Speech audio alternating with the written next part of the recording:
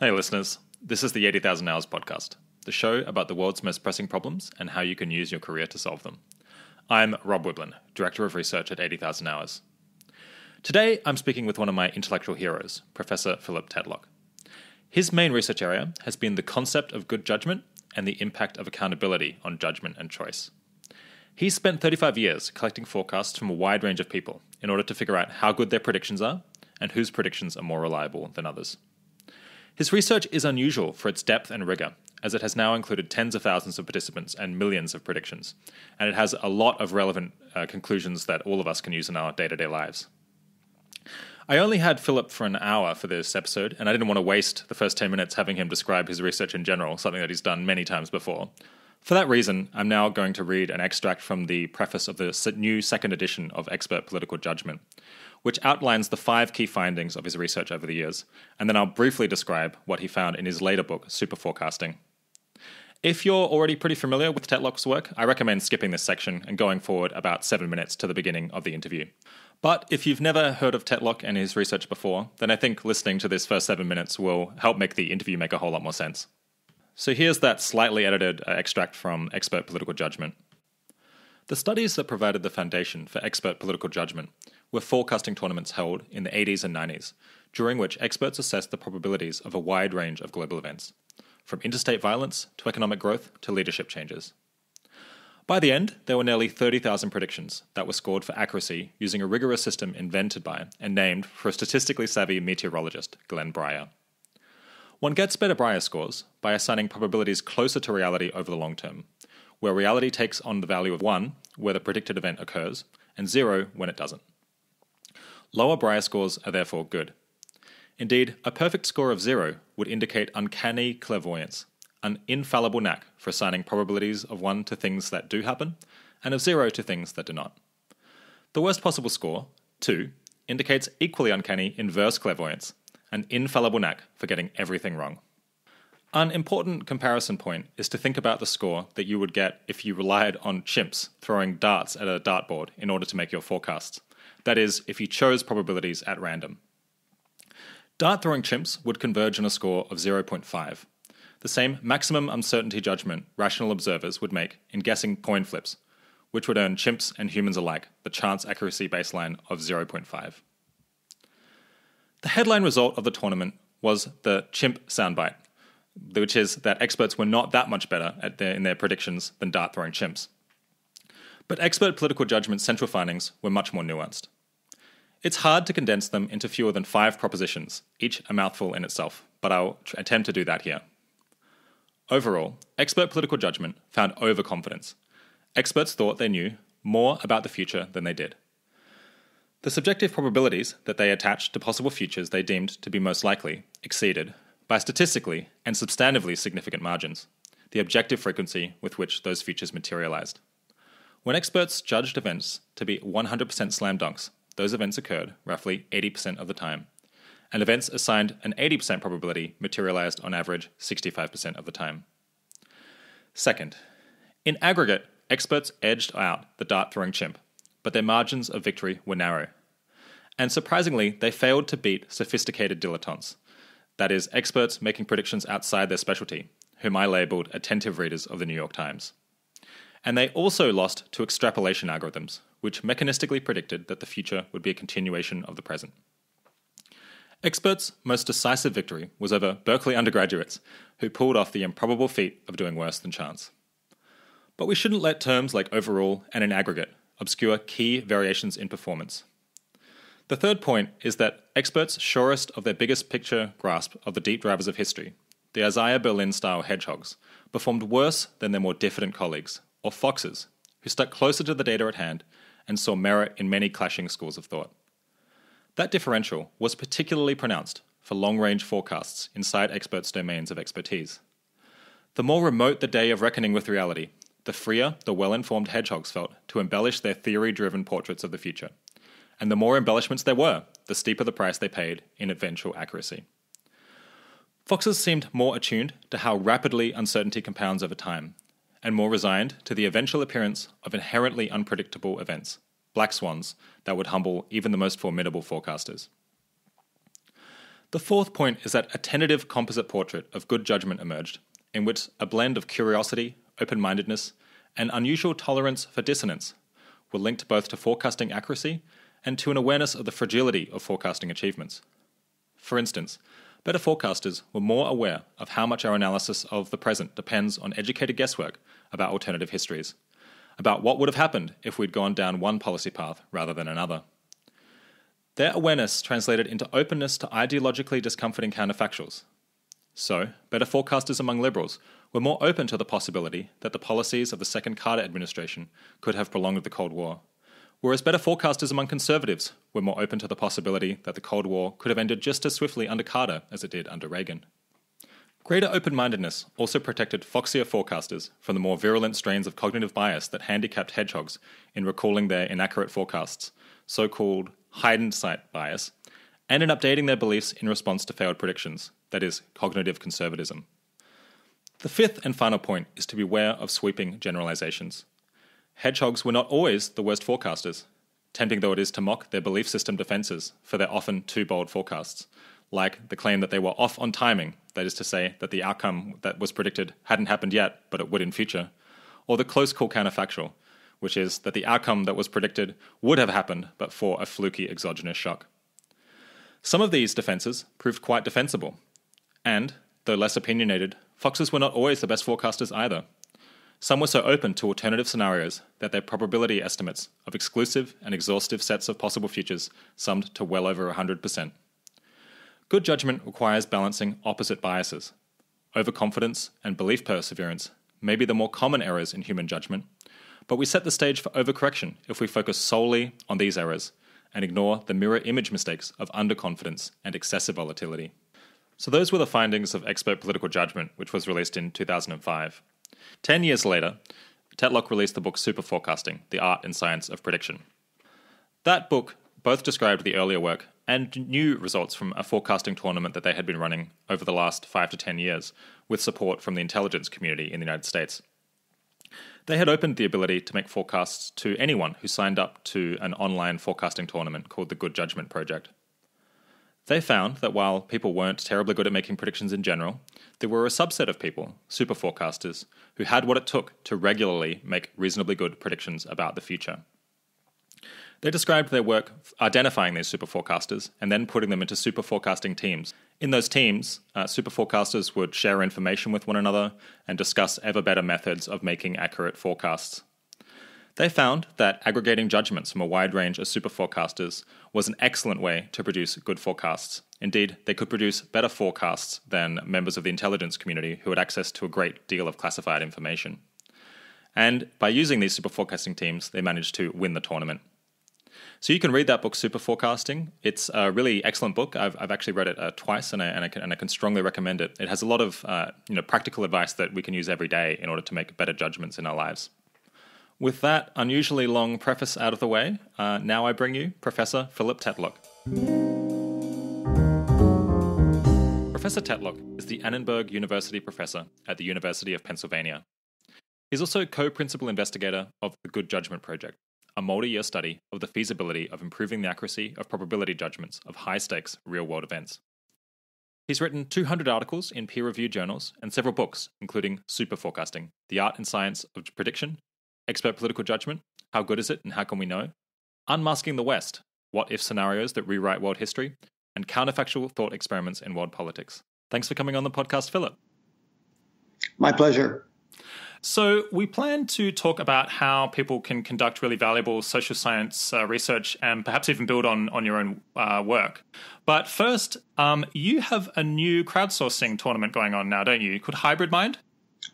Well, I wouldn't claim that it belongs to me. It belongs to IARPA, the uh, um, Intelligence Advanced Research Projects activity, which is the same operation in uh, U.S. intelligence community that ran the earlier forecasting tournament. Um, but the new one is called Hybrid Forecasting Competition, and um, it, I think, represents a very important new development uh, in forecasting technology. Uh, the, the, it pits uh, humans against machines against human machine hybrids. And uh, they're looking actively for human volunteers. So hybridforecasting.com is the place to go if you want to volunteer. Yeah, I, I just signed up a, a couple of hours ago. Uh, how is it different from the um, Good Judgment Project's open open tournament? Much more emphasis on statistical and artificial intelligence tools uh, for aggregating forecasting cues and combining them in what competitors hope will be optimal ways. Right. So you're going to take uh, judgments that people su- submit as humans and then try to combine them with judgments from kind of statistical processes and then try to produce a combination of the two that's better than either one? Well, there will be different competitors, uh, and the different competitors have different ideas about what what what's optimal. And uh, the, uh, the people who volunteer will be randomly assigned to one of those forecasting competitors, much the same way that uh, people were assigned uh, last time. Interesting. Okay. Uh, and and what are you hoping to, to learn that's to learn that's different? Well, there are a lot of unknowns. Um, it, it, it, it, may seem obvious uh, that um, that machines will have an advantage uh, when you're dealing with um, complex quantitative problems. Um, it would be very hard for humans to do better than machines when you're trying to forecast, say, um, patterns of economic growth in OECD countries, where you have very rich, pre-quantified time series cross-sectional data sets, big correlation matrices, um, lots of ma- macro models. Uh, it's hard to imagine people doing much better than that, um, but it's not impossible because um, the, the, models often overfit. And um, insofar as the better forecasters are aware uh, of turbulence on the horizon and appropriately adjust their forecasts. Uh, they, they, they could even have an advantage on turf where we might assume machines would be able to do better. Um, so there's a domain, I think, of questions where there's kind of a presumption uh, among many people who observe these things that the machines have an advantage.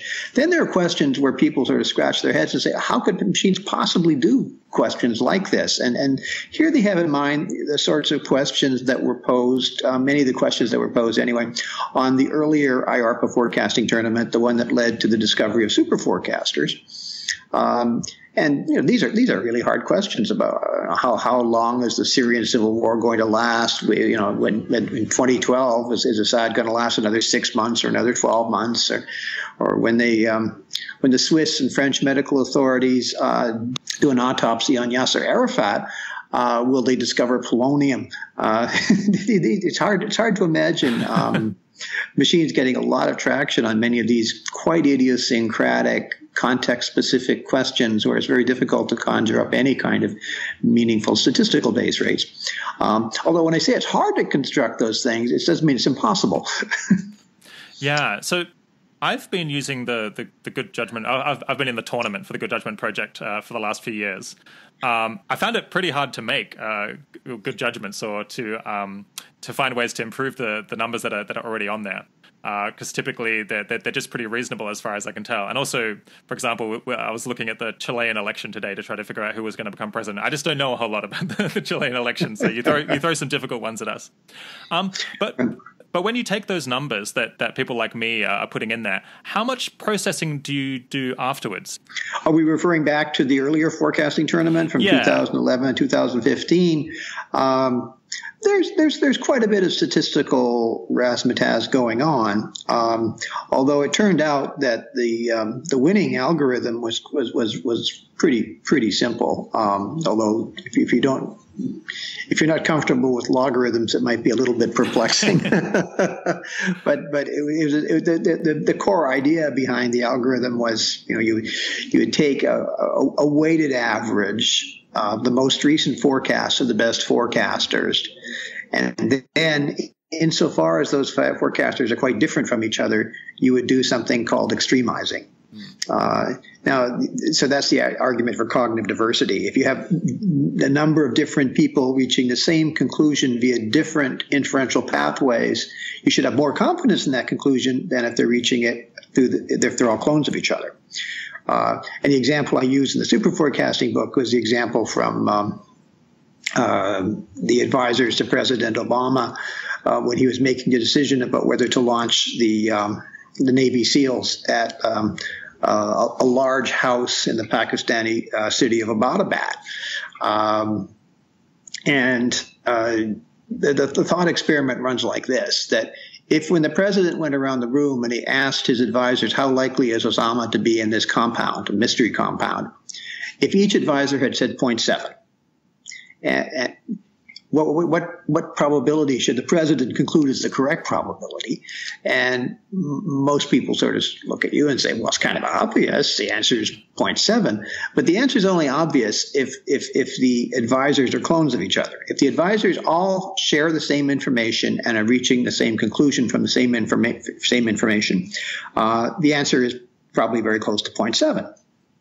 Um, but imagine that one of the advisors reaches the 0.7 conclusion because she has access to satellite intelligence. Another reaches that conclusion because he has access to human intelligence. Another one reaches that conclusion because of code breaking and so forth. So if the advisors are reaching the same conclusion, 0.7, but are basing it on quite different data sets processed in different ways, um, what's the probability now? Most people have the intuition that the probability should be more extreme than 0.7. Uh, and the question then becomes how much more extreme, and that's where the statistical razzmatazz comes in, where you want to extremize and you want to extremize the, the, the weighted average of the most recent forecasts of the best forecasters. You want to extremize that um, in proportion to the diversity of the uh, viewpoints within among the forecasters who are being aggregated. That's, that's kind of a, that's kind of a long answer, but does that, that make sense? Yeah, no, it, it makes complete sense. It's it's quite interesting because um, within the Center for Effective Altruism, where I've been working the last few years, uh, we often get people to independently come up with probability estimates for different things before we discuss something, and, and then and then after we discuss it. Um, and but we've never done this thing of then combining them and then saying, well, if we're all on one side, then that should make us even more confident than the average of our answers. Uh, but perhaps perhaps we shouldn't anyway because uh, we're all clones of one another or something like that, or we all have access to too similar information. But uh, that's maybe something we should consider doing. Well, well-functioning groups that, that, that are that are very good at overcoming um, you know, biases like uh, failing to share distinctive information. Groups that are effective at that, you, you want to be careful about extremizing. Mm. Uh, for example, it wasn't a good idea to to extremize the judgments of super forecasting teams because they'd spoken to one another too much they were in effect self-extremizing. Interesting. Okay, so they were already adjusting for this. Well, I, I think when you, you, when you applied those statistical tools to to, to that situation, uh, the result was worse than you would have otherwise got. Nice. Um, so, if people want to participate in the in the latest forecasting tournament and see if they can they can be forecasters themselves and, and just contribute to your research, I think they can they can sign up at uh, I believe it was hybridforecasting.com. That's correct. Yep. And then you can start you can start making forecasts about all kinds of events, including nuke, uh, North Korea's nukes and uh, elections around the world, and uh, yeah, wars when they'll start and when they'll end. It's uh, it's it's I, pretty it's pretty fun if you're into that. I, I, it's it's going to be a huge challenge, and you, and you and you won't just be competing against human beings; you'll be competing against artificial forms of intelligence. Right. Uh, who, who, who are you backing? well, you know, we started to talk about that at the beginning, right? The, the pros and cons, and you, you, you, you can make a good case that the machines are going to have an advantage on the, the, the, the one, one set of problems, and you can make a good case that machines have a very hard time getting any traction mm. on another set, like the Yasser Arafat uh, autopsy problems, or very, very idiosyncratic problems. Um, I mean, but then there are things the, that, that, are sort of in the middle that are hard to classify. And I, actually, I think most of life is in the middle and hard to classify. Yeah.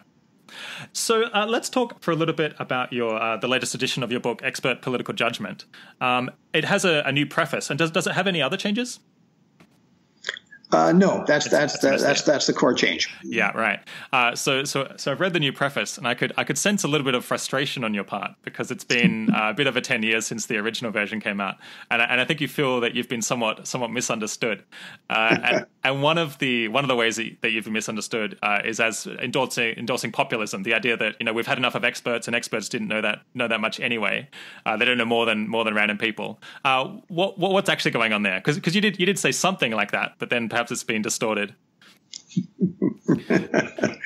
well, um, um, I mean, I was, I was always a big fan of Monty Python and, and, and, John and John Cleese. I think John Cleese is a, a, was a brilliant comedian. He may still be a brilliant comedian, um, but uh, the, the, the John Cleese Michael Gove perspective that that um, expert political judgment somehow justified not listening to expert opinion about the um, consequences of, of uh, Brexit uh, struck me as a as a somewhat dangerous, a da- dangerous misreading of the hmm. book. It's not that I'm saying that the experts are going to be right, uh, but I would say completely ignoring them is dangerous. I mean, it's very hard to strike the right balance between mm. justified skepticism of pseudo expertise, and there's a lot of pseudo expertise out there, and there's a lot of overclaiming by legitimate experts, even.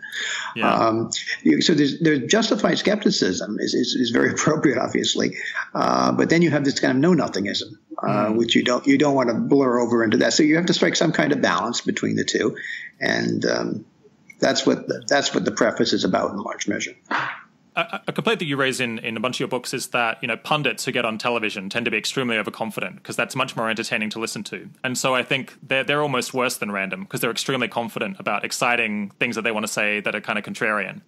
Um, there's also this criticism of intellectuals in general that they kind of become too obsessed with their own particular field, um, and they end up with potentially quite radical views just because they've studied only economics or that's the, that's the only thing that they know and think about.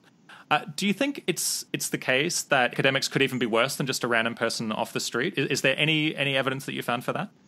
Uh, I, I, do, I have I have, do not have evidence that um, PhD level academics are worse than the average person off the street. What we what we do have evidence for is is uh, something that, that, Danny Kahneman called the attentive reader of the New York Times hypothesis, and he yeah. he coined that phrase when this research was in a very early phase back in in 1987, um, 88 when we were when we were colleagues at Berkeley, hmm. and uh, what what that means is um, you get a boost from having from, from being an attentive reader of the New York Times or the, or the Wall Street Journal to be bipartisan here.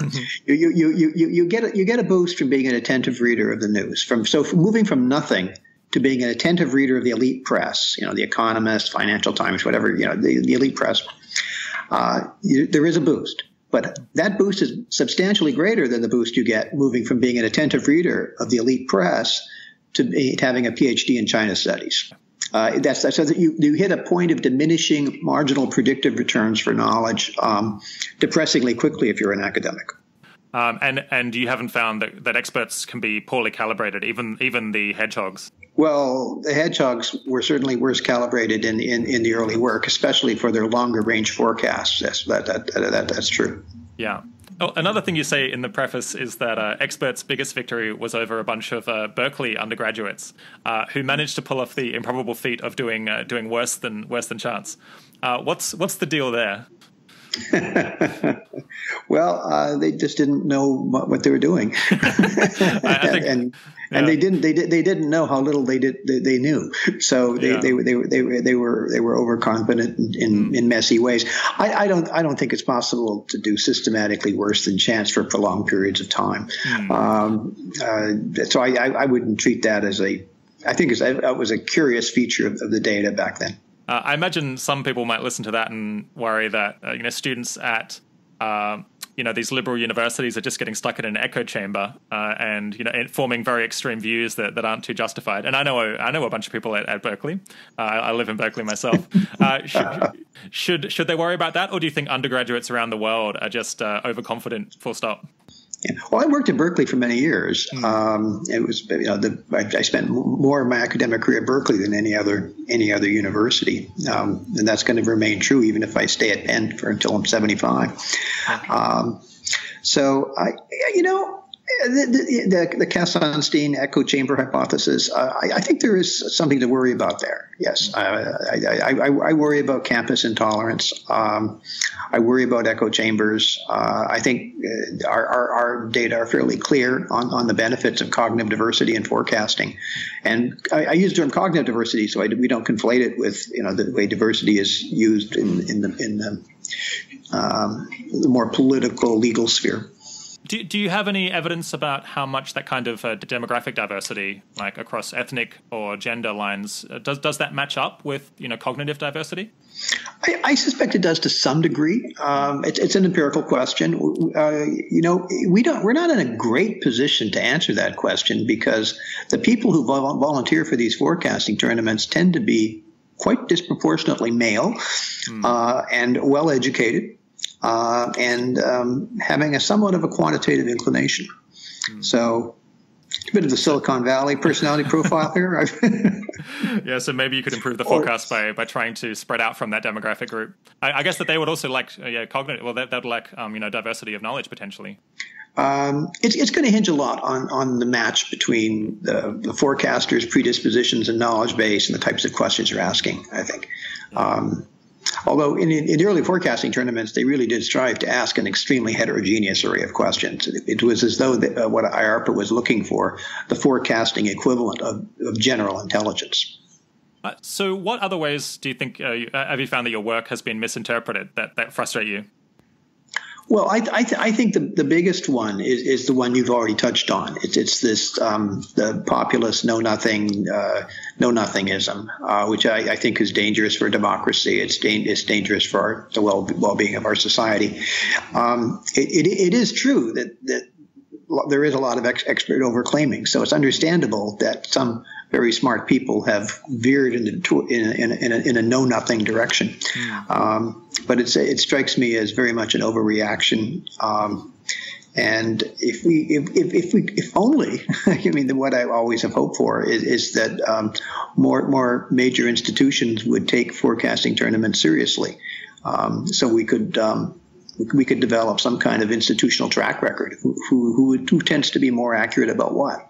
Hmm. Uh, and uh, it, it, it, would be more difficult, I think, for people like Michael Gove to dismiss um, skeptics of Brexit, uh, opponents of Brexit, if those opponents of Brexit had pretty good track records. Yeah, right. So, what should uh, just a typical person do if they hear experts opining about something that something that they know uh, more about than than the listener does? Should should they kind of go somewhere between common sense and their judgment and, and what the expert is saying?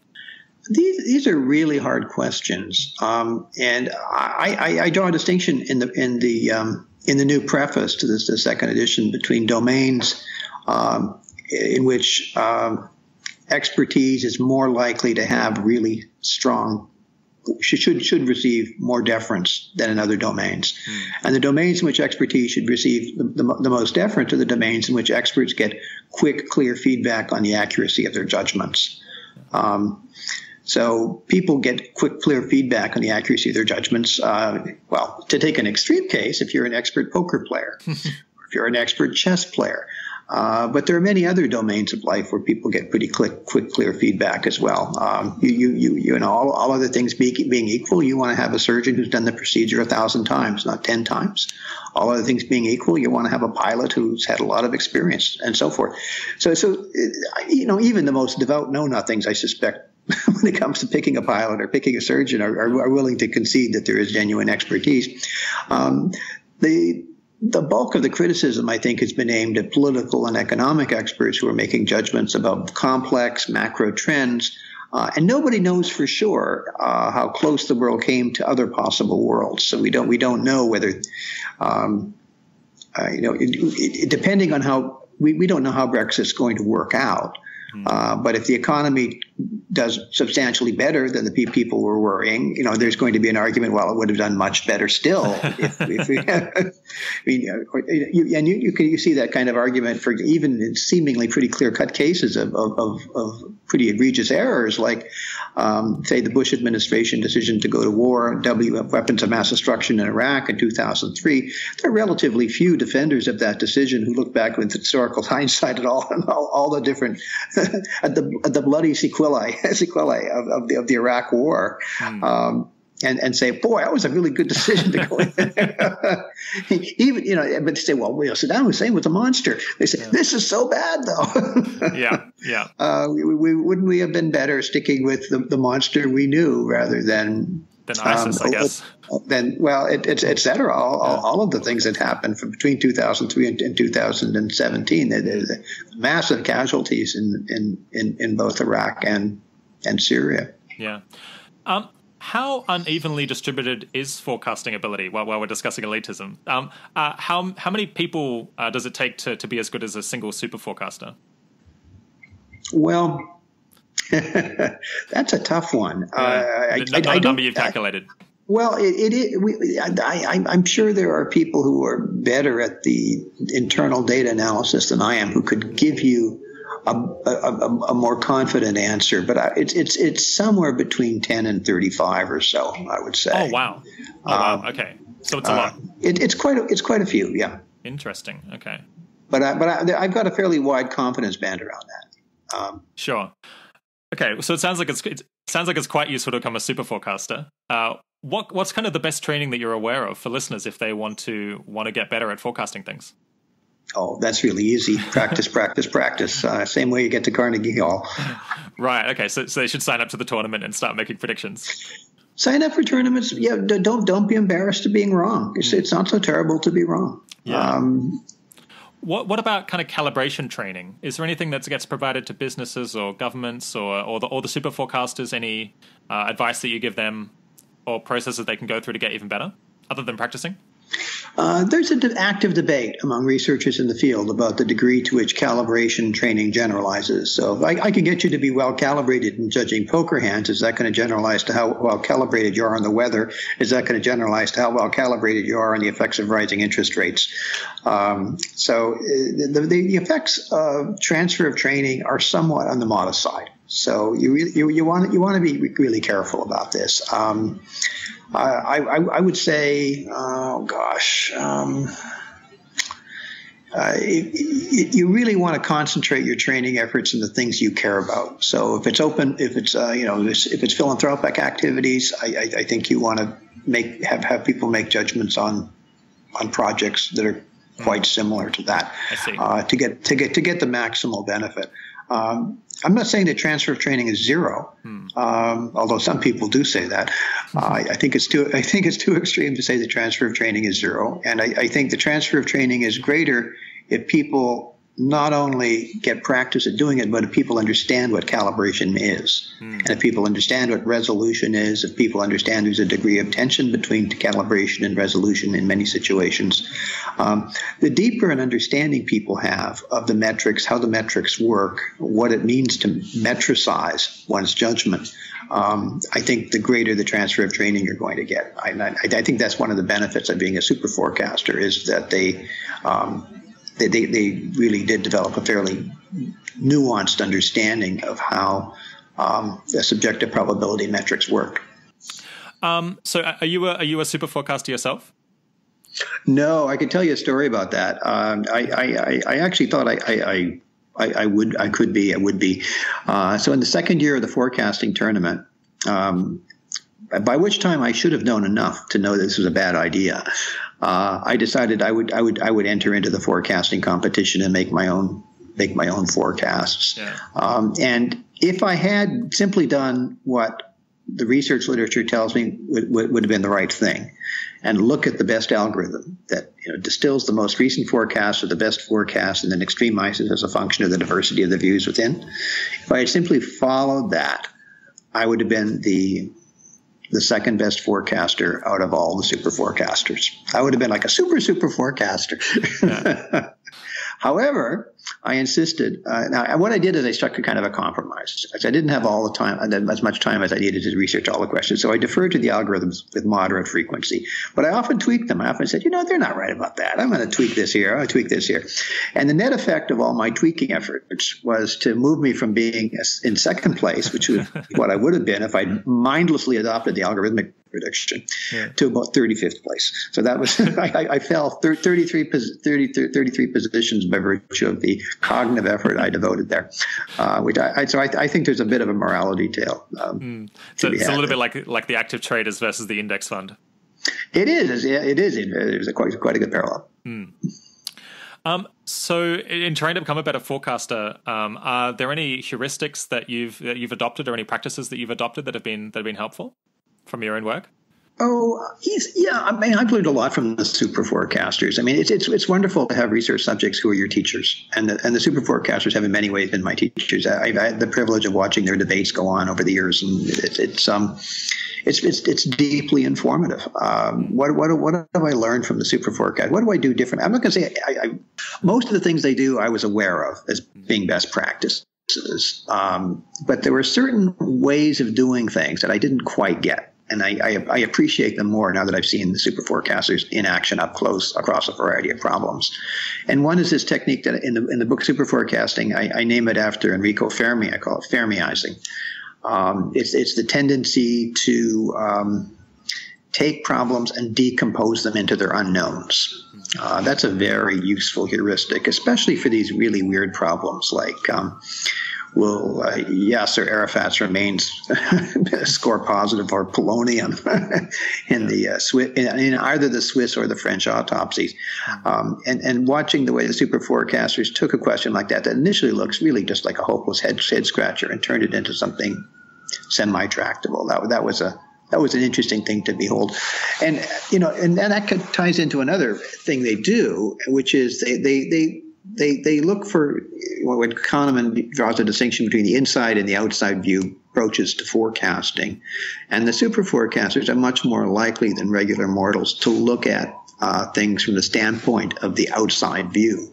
Mm-hmm. Uh, right. So if they're at a wedding, you know, they're more likely to say, you know, what's the divorce rate for this socio-demographic group? When they're asked how likely is the couple to get divorced.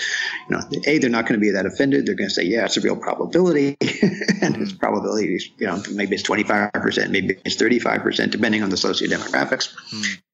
Um, they're not going to say something like, "Well, look how how in love they seem to be, and how happy everybody seems to be. Uh, it's outrageous to imagine them getting divorced. 95% are going to stay married. If you start a probability because you get sucked up into the atmospherics and the enthusiasm of the moment, you start off around 95%. It's going to take you a long time to adjust that probability so you're in the ballpark of plausibility. Much better if you start your plausibility estimates around something that's plausible. So in the Yasser Arafat situation, you could you would ask a question. You say, well, what's what what what statistical comparison classes are there for you know the uh, this sort of weird autopsy of a, of a leader of a, a, a, former terrorist organization. And, and you'd say, well, you could ask the question when major medical and political legal authorities believe there are reasonable grounds for suspecting an autopsy is needed. Hmm. Uh, how often does the autopsy reveal hmm. something uh, that was not, not, had not previously been revealed, and it may may, may indicate um, murder? Um, if you if you if you phrase it that way, you can actually make more headway. So there's a there's a very active debate in the effective altruism community at the moment about how much people should you know adopt the inside view versus the outside view, and how much they should just uh, defer to to mass opinion on, on important questions, or just defer to kind of the average view of a bunch of of a bunch of experts. Um, do, you, do you have any have any views on that? I mean, obviously, the, the argument of uh, well, there's there's some people promoting a very radical view, basically that you should almost ignore your own inside view and only look at the reported views of other people, or, or give you give your own inside view no more weight than than anyone else's. Do, do you think that's a that's a good approach to having more accurate beliefs? Yeah, uh, I, I've never been able to impose that kind of monastic discipline on myself. Um, and the, the, division between the inside and the outside view is blurry on, on close inspection. I mean, if you start off your, your, your bait with the base rate probability of divorce for the couple being 35%, and then you, you information comes in about quarrels or about this or about that, you're gonna you're going to move your probabilities up or down, uh, and that's kind of inside view information, and that's proper belief updating. Uh, now, they're getting the mechanics of belief updating are very tricky, and there's the problem of both cognitive conservatism, under adjusting your beliefs in response to new evidence, and also the problem of excess volatility, over adjusting, um, and spiking around too much. Hmm.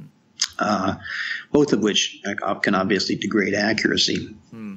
Um, but so I, I don't. I think a, a, categorical prohibition on the inside view is is, is, is way too extreme. Um, uh, but starting off with your first guess with the, with with the most plausible outside views is is is, a, is pretty pretty demonstrably sound practice. Yeah, so I kind of misspoke when I said uh, not allowing the inside view, but it's it's more the argument that the outside view that you should take is to look at the probability estimates of people who seem like they know about the area and say, well, the experts on average say that this happened, that this is 70% likely, uh. and, and, and, take that perspective and say, uh, well, when the experts say it's 70% likely, in fact, it is 70% likely. So my reference class is based on the, on the opinion of experts and their probability judgments. And then you don't really, and then you don't try to kind of tinker with it and add, and add your own judgment. Uh, that, that, that's one approach that you could take. Right. That's the, the, mistake that I made in the second year of the forecasting tournament, tinkering. If I, whereas if I just left well enough alone, I would have been a super, super forecaster, right? Yeah. But, but, but, but only by virtue of cheating, looking at the, um, at the, the, the, the, the algorithmic combinations of the best forecasters. Um, so, hmm, I don't, you know, so after my second year experience, you'd say, well, maybe Tetlock is converted to that view, right? right. uh, there, there's merit in it. Um, you know, I worry. I don't know why, but I worry about it too. I, I, I have a, I have this feeling it, it goes too far, um, but I'm hard pressed to give you any evidentiary basis for that. Mm. Um, I mean, you could imagine. I mean, the, the argument about index funds is if index funds become too common, no one will have incentives to doing the, to do the research anymore, and, and, then the, and the markets will cease to be efficient, and then presumably it'll become efficient for people. It'll be the incentives will return again, so it'll kind of oscillate back and forth in a, in a kind of uh, unstable equilibrium um, between the the, the the professional traders and the index fund people. Hmm. Uh, you, you, you, would you would you want to have a situation where you'd have where the where the expert community felt it was getting automatic deference? Oh, gee, I, I, I well, it, I think we're so far removed from that anyway. yeah. I, don't, I don't, I don't see it as an imminent problem, but it, it is interesting that there are thoughtful people inside um, the Center for Effective Altruism who take that strong a position. It's an interesting position. Um, it's one that I should be sympathetic to, given what happened to me in the second year of the forecasting tournament. Mm. Um, but it's one that I'm wary of, uh, and I'm going to have to think hard about exactly why I'm wary of it. Mm. But I am wary. Oh, how about you? Uh, well, I, am very sympathetic to it. I, I, I agree. It's extremely hard to actually impose that rigor on yourself. To always just be thinking, well, my opinion is no more informative than the stated views of any other person. So even though I'm in my head 24 7, I'm not going to give any greater weight to my own perspective on things. Uh, very, very, difficult to do. But my guess is if you were just trying to make accurate predictions about the future, then that would be a pretty good way to do it. Because, um, like, in as much as you have an unusual contrarian view, it's true that you might be right, but most of the time you're wrong if most people don't agree with you and can't be convinced.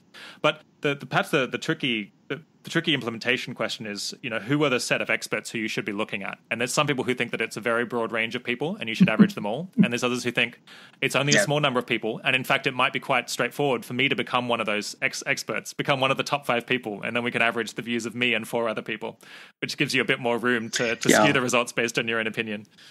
Yeah. Well, you know, I, I, I think that's a really good point about what, what what's the composition of the expert uh, pool from which we're uh, on which we're doing aggregation operations. Um, I think the 2016 election was a cautionary tale about a couple of things. One is the the um, the opinion bubbles that many academics uh, live in. That, that, that, it was quite unthinkable to them uh, that they, they, their, their, their, their could be that radically unrepresentative um, and the other is just the perils of extreme. I mean, who, one of the one of the great poll aggregators, Sam Wang at Princeton, had a probability of uh, Hillary victory at around ninety five percent. Hmm. Um, now, Nate Silver, who comes out relatively well in this situation, where he comes in with a probability just before the election of around 70%. Hmm. Um, now, if Nate had been extremizing, if he had been um, saying, look, all, virtually all the polls are pointing toward a Hillary victory. She even has a margin, and she has the relevant. She has she has borderline margins of victory in in these in these in these swing states. Um, if, if, if, we if we if we aggregate, we take these different different polls with different strengths and weaknesses, and we aggregate them, um, you know, any any given individual poll might have a 55 or 60 percent Hillary victory, but many 55 or 60 percent probabilities with, from polls of varying quality in varying places um, would tip you toward you know a Sam Wang kind of 95 percent extremizing mm. uh, judgment.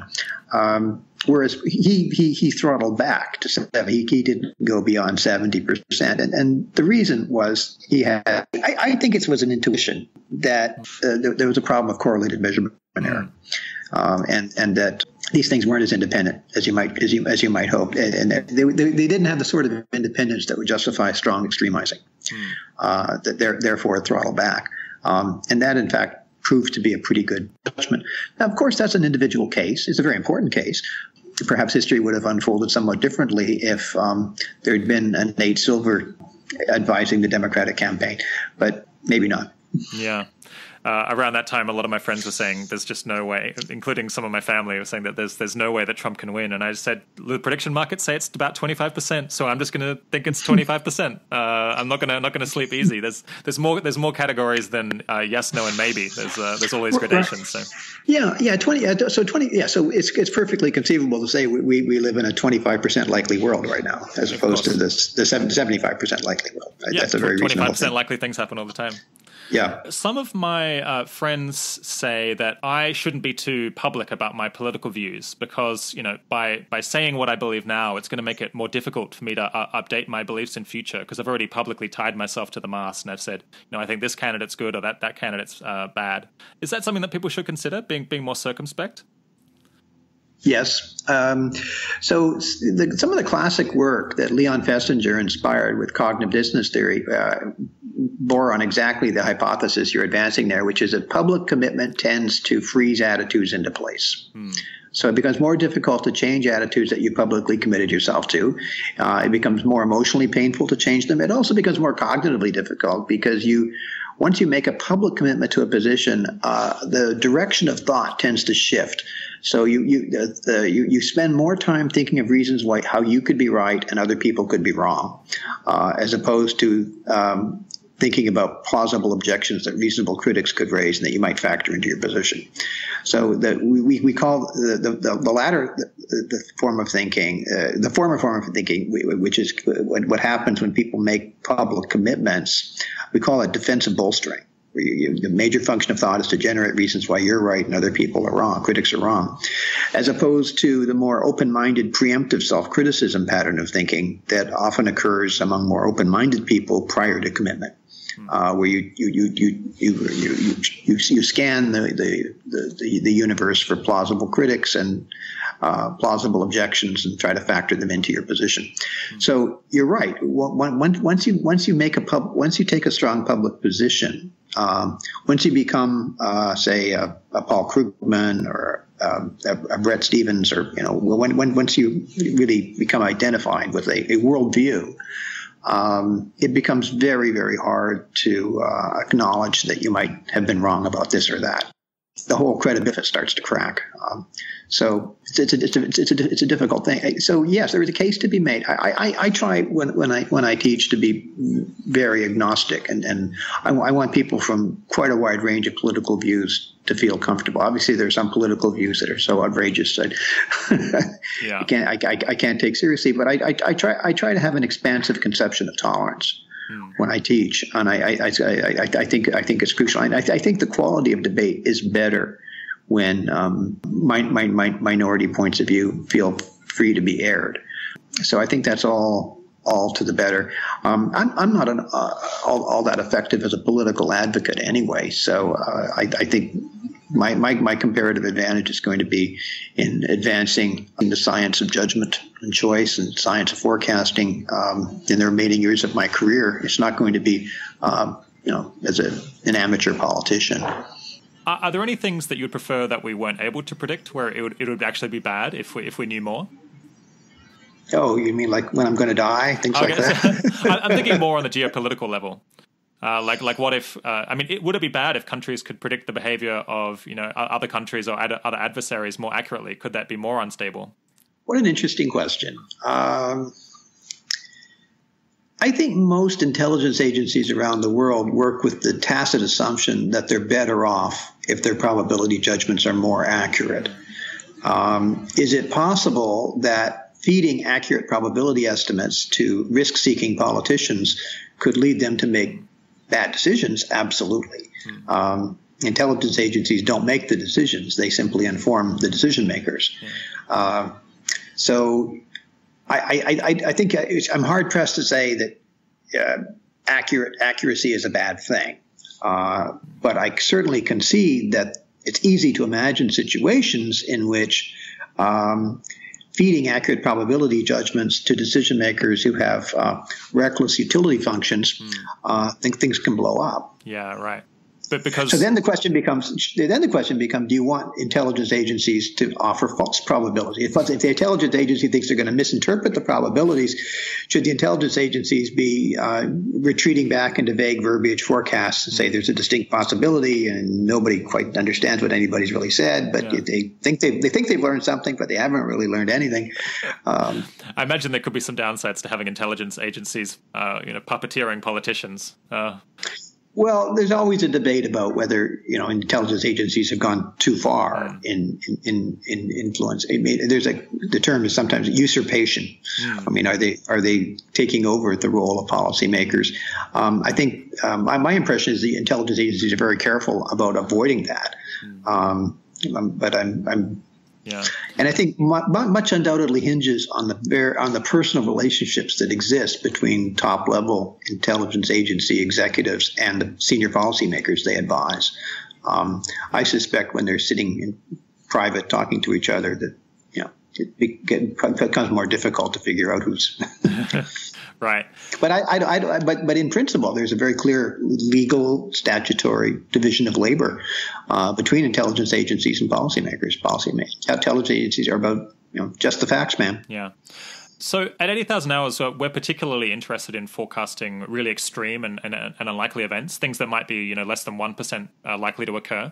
And part of the reason is that um, we think that these issues are quite neglected and often not very well handled because people are so bad at predicting how likely they, they are to be that something that is 1% likely, uh, you know, a, a typical person might think that it's only a 1 in a million chance. Uh, what what have you managed to learn, if anything, about uh, predicting these uh, you know quite unlikely events? Uh, are we are we less accurate at forecasting those? Have we managed to learn anything? That is one of the most difficult of all the questions you could have asked. um, is, is, is, how do you go about assessing uh, accuracy uh, in, in the tails, mm. in the hmm. tails of the probability distribution, and, and how fat are the tails of the probability distribution? Mm. Um, it's a kind of argument that Nassim Taleb has has raised. You know, we do um, how how good are we at distinguishing events that are one percent likely from events that are point zero zero zero zero zero one percent likely, hmm. um, and um, some some people claim they've been able to make a lot of money in financial markets because they uh, have a better appreciation of the fragility of the mainstream financial uh, models. Uh, which they say are you know rest too heavily on Gaussian premises, mm. normal curve, bell curve um, kinds of premises. So um, your question you're asking is how, how, how much have we learned about how accurate people can? If, if I'm understanding your question correctly, yeah. you're asking how, how how much can we learn or have we learned about how accurate people are in that in the, in the tail region, say between five percent probability and point zero zero zero zero five percent. Yeah. Um, and uh, the short answer to that is that's very hard. uh, it's very, it's very, it's very, uh, because you have to have such a large number of forecasts to even get a few you, things to happen. You do, you do. Now there are interesting things you can do uh, to assess the logical coherence of people's probability estimates of things like.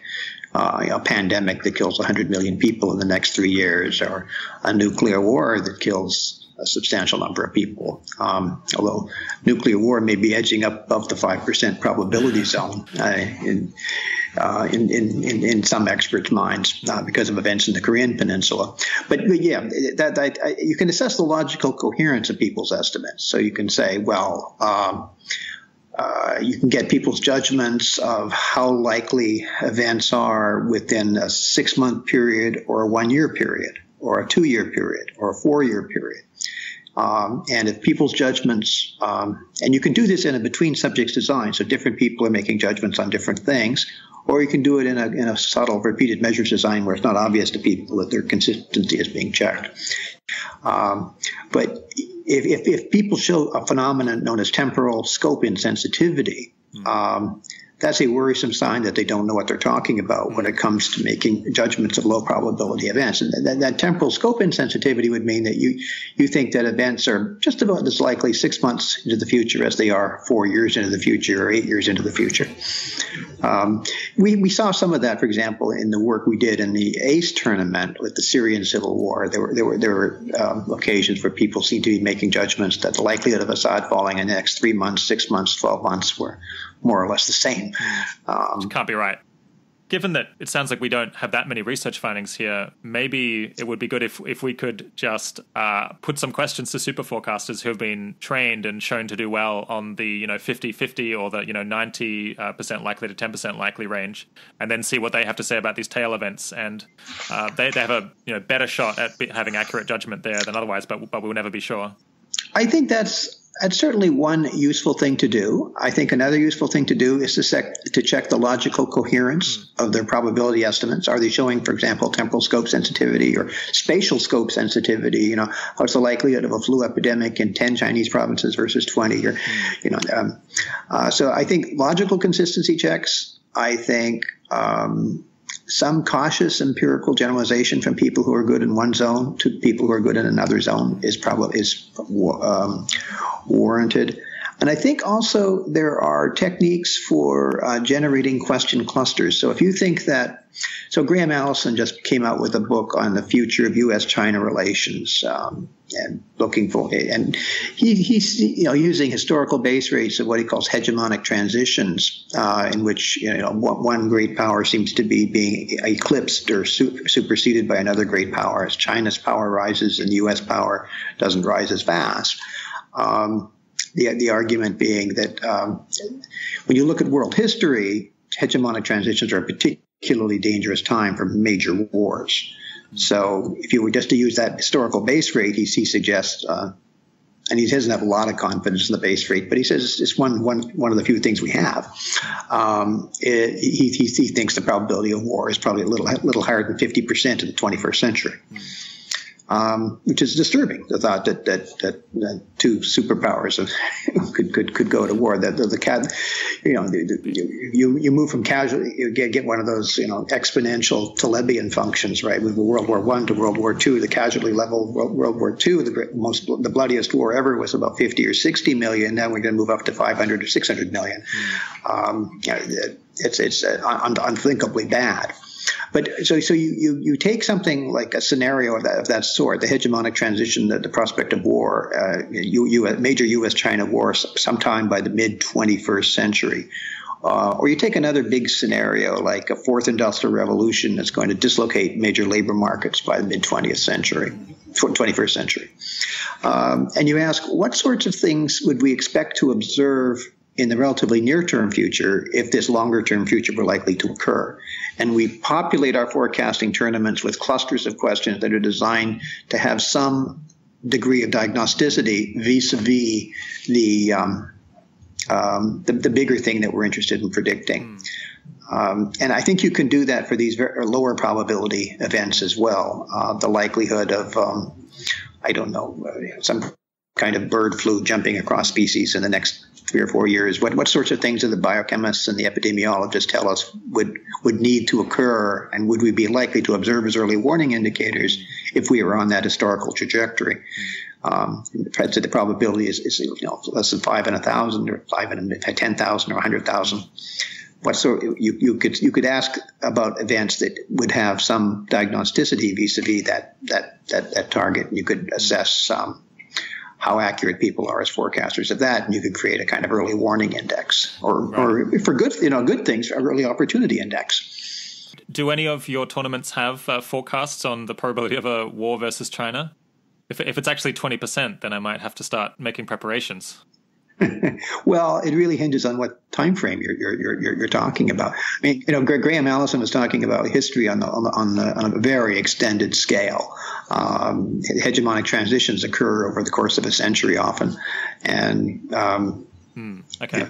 Uh, Chinese GDP is approaching U.S. GDP. Chinese military power is still substantially under U.S., but growing fairly rapidly. Mm.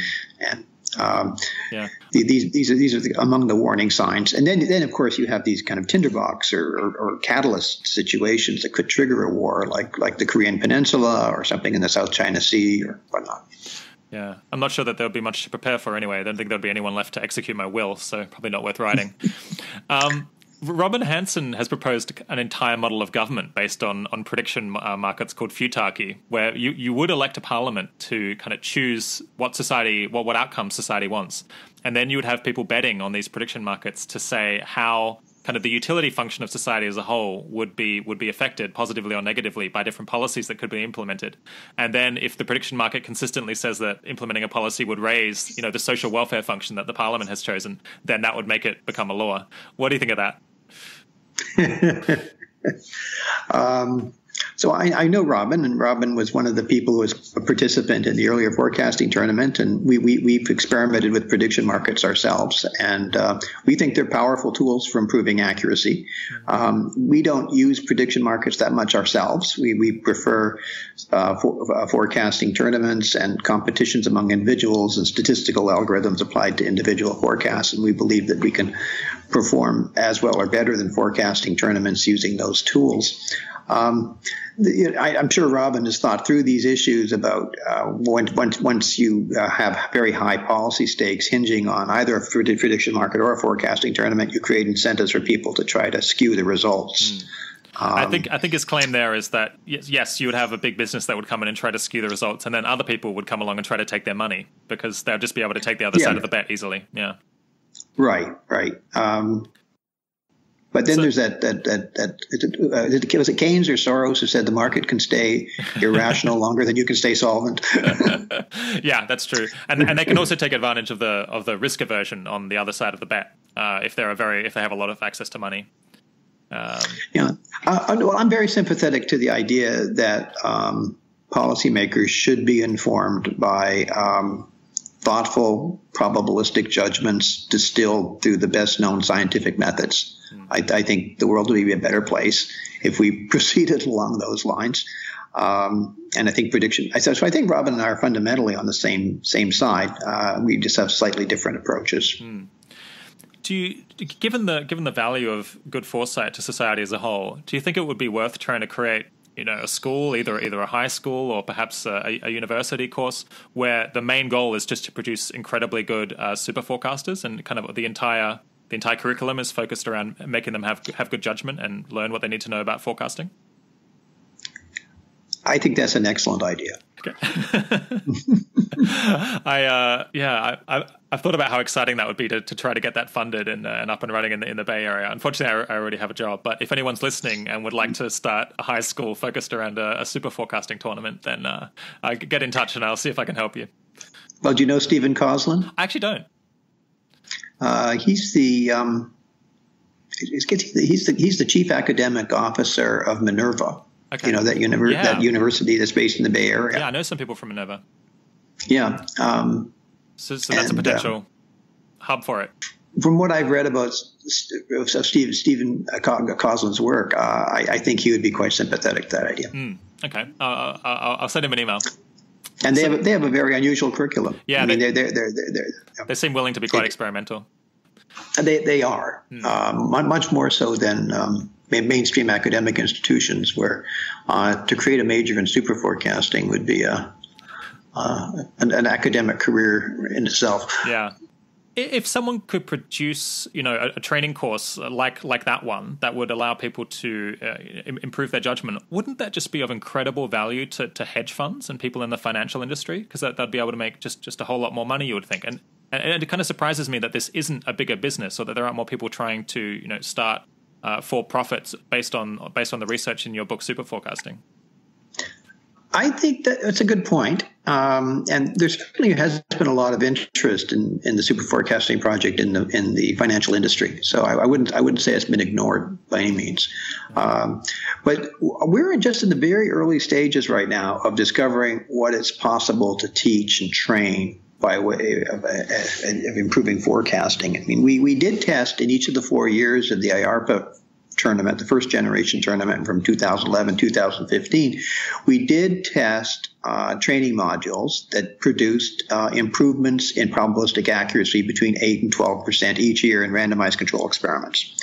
So that was a I think that was an impressive demonstration. It's in the scientific literature now and um, Jon Baron's journal, Judgment Decision Making.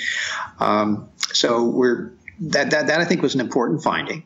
But um, bear in mind that those, those, training modules were developed in the context of a particular tournament uh, in which certain types of questions were being asked, and we needed to create a, a create, create performance engines. We were we were looking for ways of winning it. We were, not only we were not only doing research, we were also trying to win a tournament at the same time. So uh, there, there are advantages now now that we're not, not, as actively engaged in tournaments at the moment. Uh, there are advantages to stepping back and designing these kinds of training systems and contouring them around the needs of, of, of specific cognitive niches. Um, and um, that's one, that's one of the things I think that um, we're, we're, we're doing right now. Um, at some point in the next decade or two, you're probably going to re- retire from, from active research on these questions. Um, what, what things do you worry you're going to leave un- unsolved that um, perhaps someone in the listening audience might be able to work on?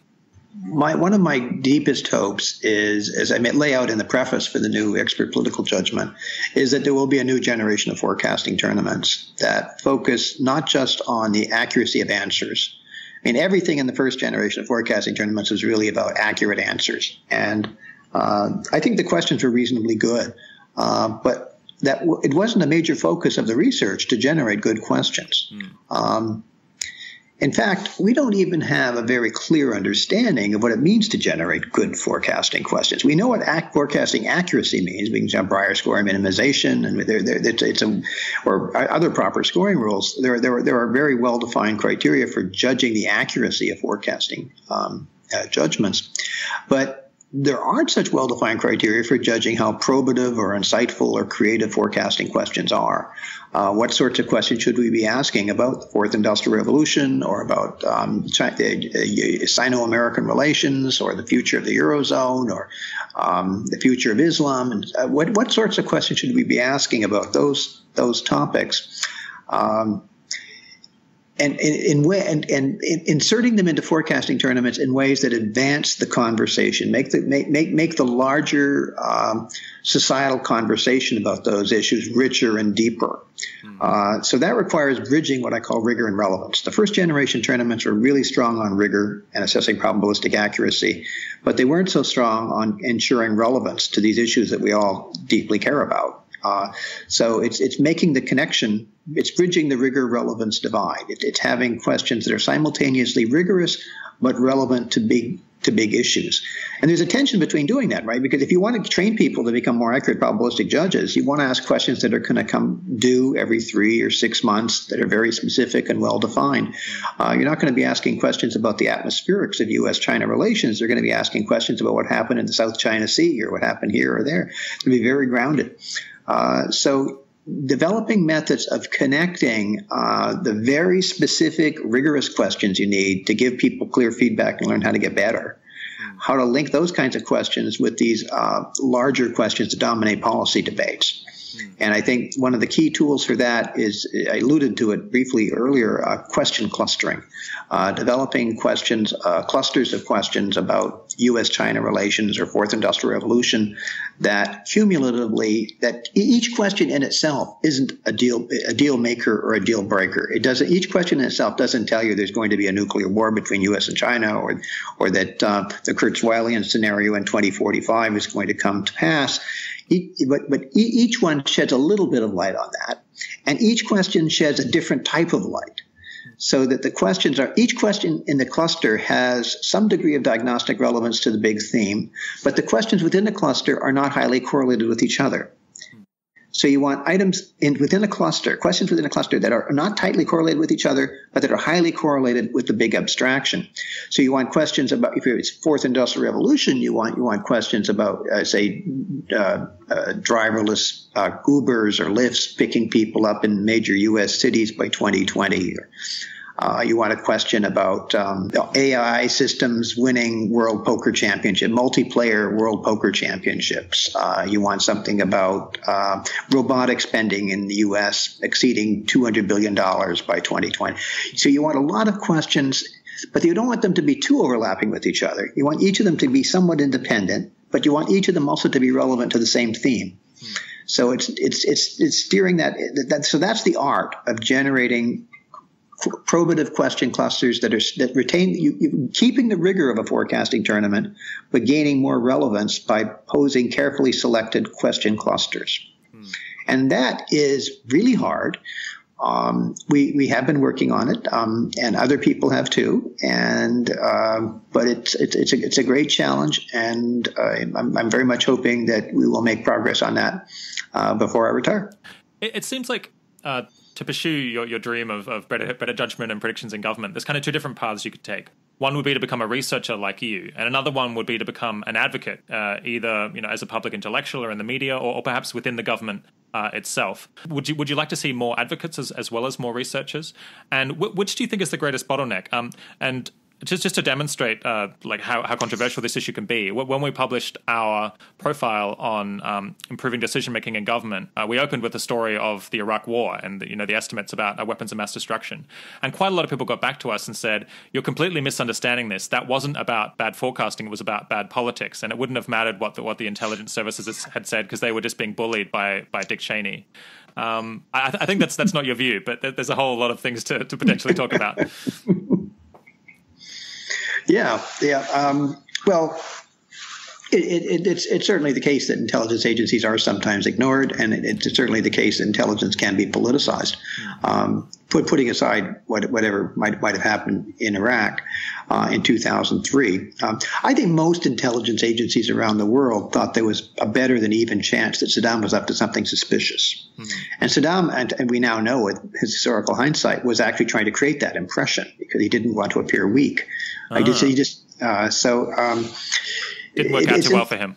No, it, it, it, didn't. It didn't work out too well for him. But it, it was it, um, virtually everybody thought it was something. But but no, the, the, idea that it was a slam dunk or 100 percent probability that there are weapons of mass destruction, I, I, I think that was. Um, that was either an egregious intelligence error or it was some form of politicization. I, I, I, I, don't know for sure what, what, what the actual truth of the matter is, but it's a serious problem either way. With respect yeah. to activism, um, yeah, I'm not. So I'm not temperamentally an activist. I'm I'm temperamentally a researcher, and it's it's, it's what I what I what I what I know how to do. Um, but I have been tempted, you know, by some forms of quasi activism. Hmm. Uh, and one of them is a project I, have I've started on called the Alpha, Alpha Pundit Challenge, uh, which is an effort to take um, the commentary of, of leading pundits like uh, Tom Friedman or uh, Martin Wolf or you know very prominent people uh, in UK, US, elsewhere, um, who offer who offer opinions on various subjects and often offer implicit forecasts as well. Uh, and to take those implicit forecasts, to, to extract those implicit forecasts and uh, have intelligent readers go through them and impute probability ranges to them. Hmm. Okay. So Larry Summers in 2016 thought the probability of a uh, U.S. recession was one in three, hmm. um, and the super forecasters happened to think it was 10 percent. Um, didn't happen. Now we don't know in any given case we don't know who is right, hmm. right? Because they're probable they're probabilities and they're um, but cumulatively, you, you, if you over a number of judgments of this sort, we find that Larry Summers really was exaggerating the probability probability of a recession in 2015 or 16. You, that, that will that that sort of thing will be picked up. Uh, now, insofar as pundits come to believe that there is some uh, reasonably well connected and prominent monitoring agency that's watching the, the, the, implicit forecast they're making, uh, you could make a case that they would become more circumspect and more thoughtful about what they claim uh, because they, they would fear that their credibility would wax or wane as a function of accuracy. Mm-hmm. Uh, right now, pundit credibility does not wane very much as a function of accuracy. Pundits have quite effectively mastered the art of um, appearing to go out on a limb without actually going out on a limb by using vague verbiage forecasts like there's a distinct possibility of this happening, which mm-hmm. readers will will tell you could could mean something about as low as twenty percent, or could mean something as high as seventy five or eighty percent, um, which you know keeps you very very comfortably positioned on both sides of maybe, no matter what happens, right? If Putin does invade the Baltics, you can say, ah, look, you'll always be vindicated. I, I told you distinct possibility, and if he doesn't, he said, I merely said it was possible. Yeah. So you're, you're, always you're you're you're, you're you have this uh, kind of um, perpetual immunity from uh, falsification. Uh, so I think that is a deep problem, and um, it, it, I, I, think it needs an activist push. I think it needs an activist big institutional sponsor uh, that's prepared to push that agenda. It would be great if we could learn how to automate the text analysis, automate the prediction extraction, even automate the probability imputation. Although I think for probability imputation, you really do need to have panels of intelligent readers um, of different ideological persuasions reading it as a way of showing that the fix is not in, that it's, mm. that it's legit, legit. And blind them to who said it, presumably. Um, it, depending on the purpose, yes. Yeah, so that's a really interesting idea for activism. But uh, coming back to research, if, someone wanted to be the the next uh, Dr. Tetlock, um, what should they study uh, early on in their career, and and where would be the ideal place for them to study? Um, I, I, don't think it would probably be where I came from, uh, which is from psychology. Um, it, it would, would, be more likely to come from uh, public policy schools, from uh, either in business or independent public policy schools like like Kennedy or Wilson, um, or um, uh, I, I, perhaps economics. I thought that you might suggest, say statistics or potentially even computer science, uh, given given you're going in an AI direction now. Well, I'm not an AI researcher myself. Hmm. I'm, I'm, I'm, studying predictions about AI, which is really, yeah. really quite a different thing. And I, I, hope to be a consumer of AI techniques in, in some of the work I'm doing uh, but I'm not. I'm not actually generating those techniques myself. Um, I, I, was thinking a, a, field that combines technical expertise with with with substantive expertise, like economics, would be a more would be more likely. Uh, but it, it could be the right combination. Is is is, is uh, some social science AI combination. Uh, and are there any, you know, um, mentors or PhD supervisors or particular schools that you think would be great uh, for people to go to for, for grad school? Uh, meaning if, if, if, if their goal is if they wanted to specialize in, in you know forecasting and, and accuracy and good judgment. That's a surprisingly difficult question. Hmm. um, are there other people at, at UPenn who could be good to study with Oh, there, there are many good people in many different places. It's not that I, I'm not, I'm not thinking of anybody at all. It's just that I'm having too many competing associations. So right. I, am I'm, I'm thinking uh, there are good people. There are uh, very good people, actually superb people, at, at all of the usual suspect places. Okay. Um, so, so you're not, you're not uh, short not, of choices. There, there, there's not a particular place that stands out and say, "Oh, you must go there," uh, because that's where the future is happening. Um, I, I don't I don't see that. Interesting. What about uh, you know if you're thinking about potentially doing going to grad school to, to work on this kind of research? Are there any uh, you know conferences or internships or volunteering that people could do to you know build a professional network in the area and, and experiment with whether it's it's the right thing for them to do long term? There there there are. Um, well, you know, they, they, they we, we, we, certainly work with a lot of different people. Hmm. So that, that would be we're, we're one we're one place, and people should feel free to, to write to me. Uh, yeah. I, will I'll, because of the demands on my time, I'll have probably have to refer it to some segment of the, my, my collaboration network you know, I'm very, very fond of a particular computer scientist here at Penn, uh, who I think is just marvelous. And he was the guy who invented the algorithm that was the winning algorithm in the ACE tournament that I was talking about earlier, mm. that, that, goes under the, the log odds extremizing label. Um, where, you know, like the, the Osama Obama story that I, I, yeah, I told yeah. earlier. Um, and his name is Lyle Ungar. Uh, and he, he's he's um he, he's a he's a he's a terrific mentor and a terrific human being. Um, and he played a huge role in um, the success of the Good Judgment Project. Outside of uh, academic research, are there any organizations that you think would be really helpful to work for? I guess uh, you know you've gotten quite a lot of funding through through IARPA, so I suppose it would be good to have supporters uh, continuing to work in IARPA and the intelligence services. Uh, but is there anywhere else? Um, well, Open Philanthropy has been supportive of the work. Um, the Carnegie, Carnegie um, Corporation has been somewhat supportive of the work. Um, MacArthur has expressed some interest.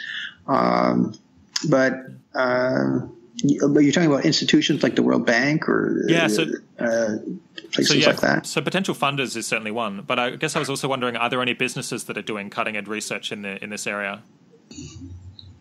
Well, my, my, my, my friend Michael Mauboussin, who is an adjunct professor of finance at Columbia, you've probably heard of him. Um, you know, he's um, wherever he goes, there's interesting activity on, on, on, the intersection between judgment, choice, and finance. Um, he, has, he, has, a he has a really deep and visceral understanding of um, of um, both the psychology of forecasting and the statistics of forecasting. Yeah. Uh, so uh, we often give advice to, to, young people on how they can build up their skills in order to, to advance their career. And I guess I guess one way you can build up your skills is to try to become a try to become a forecaster. Do you know of any examples of you know these these random retirees or people who are just at home uh, you know in, in, your tournaments becoming super forecasters and then getting hired by you know Goldman Sachs or the intelligence services to, to produce a good forecast for them? You'd probably be better asking Terry Murray, who is the former project manager of the Good Judgment Project and now the CEO of Good Judgment Incorporated, uh, which is another place, by the way, interns might want to consider going. Um, but Good, Good, Good Judgment Incorporated um, would be a good place to start. Is there any other advice in, in general that you'd like to give people who might want to you know, contribute to, to your research agenda in, in, in the future? Most people, I think, who are listening to this podcast are, you know, have have, are, have career tracks and lives that are in. There, there's an embeddedness, right? You're you're you're you're, you're on a certain track, um, and I, I, I think you, you you want to be careful not to ask too much of people. And what I what I, well, all I would say is it would be it's helpful if people read the news in a different way um, if they read the news from the standpoint of um, the principles of super forecasting, if they think about what are the implicit probabilistic claims that are in here, how are people trying to influence me? Um, are the people who are making the claims playing a pure accuracy game? If they were playing a pure accuracy game, wouldn't they be more clear cut about what exactly they're claiming? The, the, the climate of political debate has deteriorated to such a degree that um, I, I, guess I'm an optimist. I, so I'm an enlightenment optimist. I, I, I, believe that enlightenment values will ultimately triumph. I, I, don't know why I still continue to believe that so much, but I, but I, but but, but I, I, do, and it may it may be irrational belief perseverance on my part, but I I, I think that um, that the current polarization, nasty polarization, and politicization, um, and the name calling and so forth, um, and that that that that politicization will eventually die down, and that, that, that people will will, will will, will, recognize the values of intellectual temperance and, and thoughtfulness. Um, but uh, it, it's it's it's a it's a tough sell. The, the the the idea the ideals of super forecasting are I think are a tough sell in any administration. Um, in the, in the 20th century or in the early 21st century, um, and it's become an even tougher sell now. Um, but I, I, I do hold out this hope that the long that there's this long there's a, the, the long arc of history yeah. is, is, is, going to bend toward enlightenment values um, because there is such a, a, deep competitive advantage to be had in doing that. But you're, you're getting me into a, a, a somewhat morose philosophical mood here, Rob. I, am not sure um, when you say that uh, people will produce more accurate forecasts and politics will be better, whether that's a prediction or or just more of a dream. But uh, well, well, institutions institutions that generate more accurate the institutions that are guided by more realistic probability estimates, the consequences of their policy options will, on average, do better over the long term. Mm-hmm. I think that's a fairly uncontroversial claim. Um, well, uh, it's it's been uh, fantastic to talk to you. You're a very very busy guy, and I've taken up quite a lot of your time. So uh, so I should let you go. But uh, thanks thanks so much for making time for the eighty thousand hours podcast. Well, it's, it's, a real pleasure talking with you. I'm, I'm very sympathetic to the goals of um, effective altruism, and um, I'm, I'm, I'm, always glad to talk with you guys. Great. All right. Well, uh, maybe we can talk again uh, about about future findings in your research. Um, yes, I think we should do that. This has been a very enjoyable conversation. Fantastic. Have a great day. Okay, okay bye. As always, I hope you enjoyed that episode. We're going to take a break from the podcast for a couple of weeks while 80,000 Hours is working on its annual review. But I have a number of great interviews already recorded, including ones with Professor Will MacAskill about moral philosophy and the effective altruism community, Jan Leike from DeepMind about advances in artificial intelligence, Anders Sandberg from the Future of Humanity Institute about colonizing space, and Michelle Hutchinson about how to set up a new academic institute. So we'll be back in December with plenty of new interesting content. Remember, if you'd like to try improving your forecasting ability, then you can sign up for the latest forecasting tournament at hybridforecasting.com, and you'll be helping to advance the, the research that Tetlock is working on. And if you're at all interested in doing similar work to that which Tetlock has been doing for the last 35 to 40 years, or are keen to find some other very valuable social science research to work on, then you should definitely get in touch with us to receive free personalized coaching. You can apply for that with the link in the show notes or the associated blog post. We know a lot of people in this area, and can offer plenty of guidance to help you advance your career more quickly. Thanks so much. Talk to you in a couple of weeks.